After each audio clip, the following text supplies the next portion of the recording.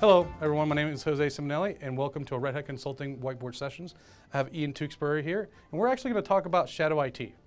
So, the first question you have to ask yourself is why do you have Shadow IT?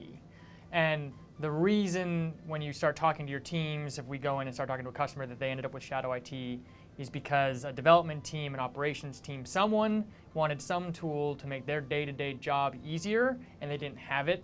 And so they just spun it up right? They just got it working to get that part of their day out of the way so they could do what their real job is. So, what are some of the problems with that? Well, so if someone just spins up a chat server so they can start talking to their teammates and just spun it up on some virtual machine somewhere that they could spin up, it hasn't been security checked. It doesn't have any password authentication, probably. So, it's skipping business processes or security processes that are already established in the organization, right? Yes. So you're you're skipping out on all, all that important security and business process part, but the people are enabling themselves to do their jobs. So they're trading off. And they're not always aware that they're trading off. So how do you actually bring that back into the umbrella of the organization?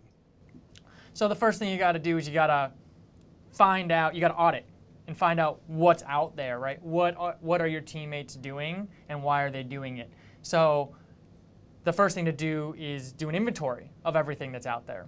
So CloudForms is a good tool for doing that because it can plug into your internal cloud and your external cloud providers and see what virtual machines are out there, who they're owned by, and a lot of the times what they're being used for.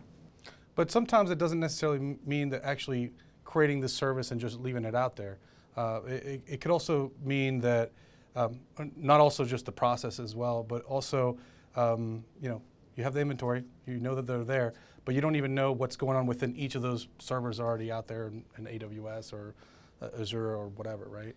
Yeah, so once you run the inventory of your external cloud provider, whether it's Azure or whether it's AWS or your internal cloud provider, whether it's RHEV or OpenStack or VMware, that's going to tell you what VMs are. You might be able to get some information just off the VM names. Joe's Slack server, might be able to figure out what that is.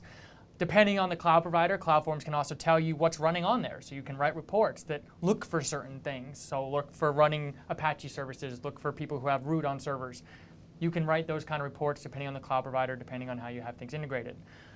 And then once you start getting that inventory and figure out what things are being used for, who owns them, a lot of times you're at least going to be tied with who owns the server. So at the very worst, if it's just named server ABC, owned by Joe, you can go over to Joe's desk and be like, what is this server for? But you don't want to blame them for this server being created. They didn't create it for um, malicious purpose. They created it to make their job easier, to get their job done for you.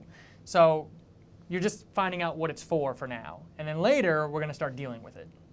So, all right, you assessed, you have a whole list of systems you have. Now you have to go talk to the CTO or CIO. How do you provide, how do you give them the, the value add of these tools so that they can be included in their new environment? Yeah, so what I would suggest you do is you take all the different tools that you found, all the shadow IT you found out there, and you categorize it, right? So you've got servers being used for source control, you've got servers being used for team collaboration, you've got servers being used for developers to just play on, right?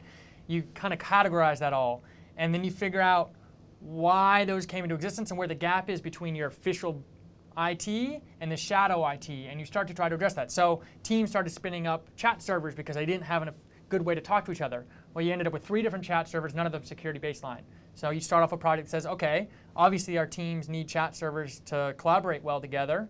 Let's spin up an official one, put the security on it, hook it in with our uh, credential system, and then you just basically go down the list of everything that people have spun up, and you just start creating an official version of it that's not getting in people's way and transition them off their old servers to the new one. And at the end of the day, they're going to appreciate this because now they don't have to manage their servers anymore that they were managing. They can just do their job.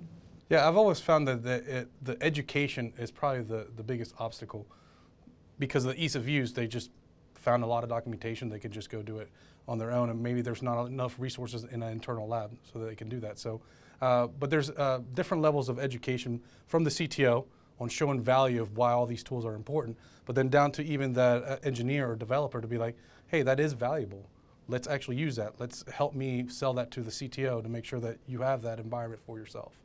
Yeah, you really need to start the conversation between the two different levels because at the, the top, at the CTO level, you have someone who's concerned that you've got all these tools you don't know about, possibly running in an unsecure way, and you've got people doing you know, the hands-on keyboard work who are using these tools to be productive. And if you just carte blanche take them away, you're going to kill your productivity mm-hmm. and bring down morale. So you don't want to do that, but you also don't want to be running in an insecure way. So educating your your users on the need for security throughout your infrastructure, but then also saying, hey, but we understand you need these tools and you want these tools and you're using them for good purposes. Let's work together to build safer solutions. So would you say shadow IT is a good thing or a bad thing?